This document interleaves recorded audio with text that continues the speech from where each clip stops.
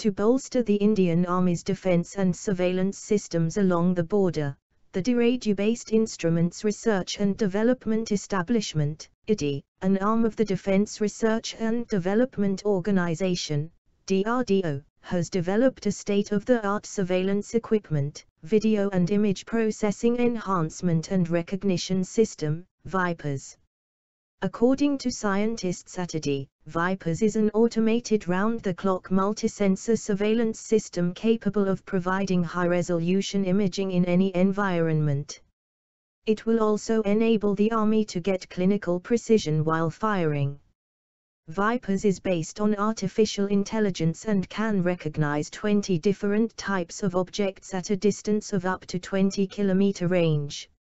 It is equipped with a convolutional neural network hardware chip which can capture photos at 7 frames per second.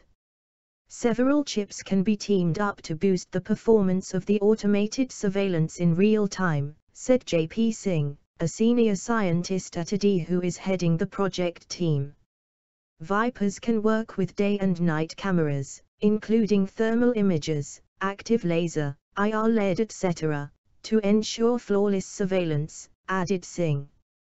The scientist further said that it took a few decades to shape up the system. The system has been developed after painstaking efforts of several years. My team is excited about the forthcoming field trials to be conducted by Indian Army next month which would test the entire range of features of the system and also help plan the next level of upgrade, said Singh.